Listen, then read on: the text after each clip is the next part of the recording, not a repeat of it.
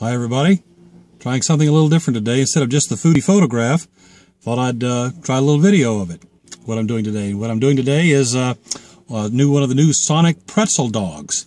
So I'm going to try this and see uh, see how it is. Uh, Larry Matson is a big fan of Sonic hot dogs.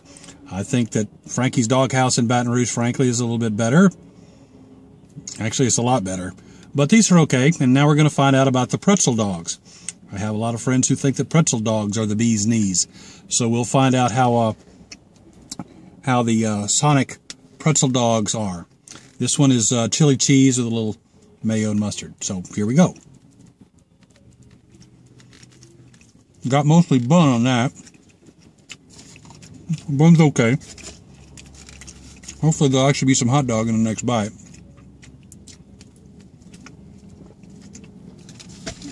All right. Here we go. Actually getting some of the dog this time.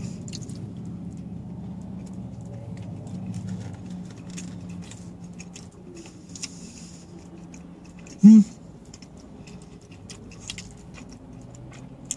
It's okay. They don't have pretzel buns at Frankie's in Baton Rouge, but I still think they're probably better.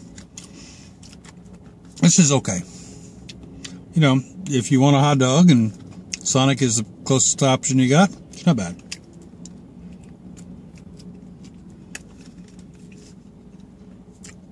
A little cheese.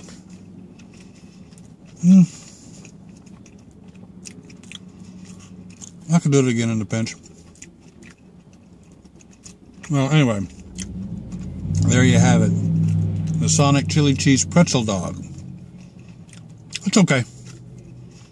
I think the two guys on the commercial are getting paid for liking them so much.